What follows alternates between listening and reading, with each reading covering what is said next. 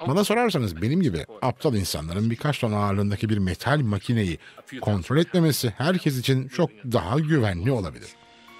Yapay zeka gerçek dünyada ancak başarısız olduğu zaman hiçbir fark yaratmadığı sürece kullanılabilir.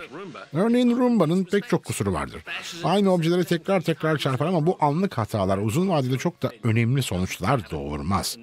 Eğer aracınız duvara tekrar tekrar çarparsa işte o zaman bu bir sorun yaratabilir. Bu sistem işe yaramaz